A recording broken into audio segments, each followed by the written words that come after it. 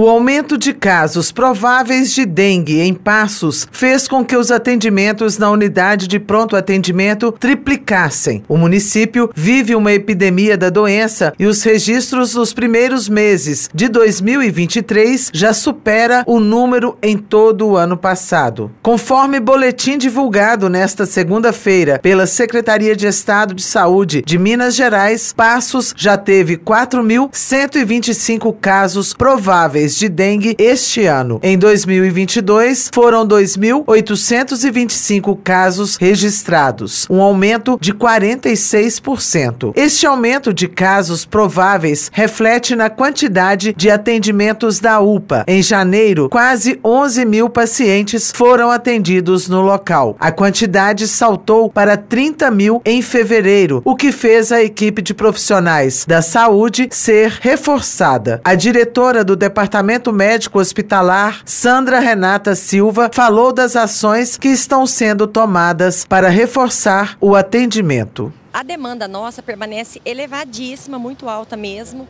mas a gente está buscando alternativas enquanto a gente não contrata os profissionais. Foi decretado estado de emergência, né?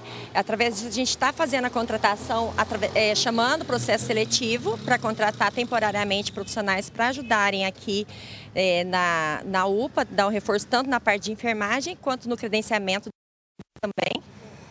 Só que enquanto não resolve, a atenção primária está nos dando uma grande força. Eu queria até agradecer a Clarissa é, e aos profissionais que ela tem disponibilizado para nos ajudar, que tem vindo de segunda a sexta-feira, todos os dias, quatro técnicos de enfermagem, que ficam das 5 da tarde até as 22 e no sábado e domingo ficam 12 horas, das 7 às 7.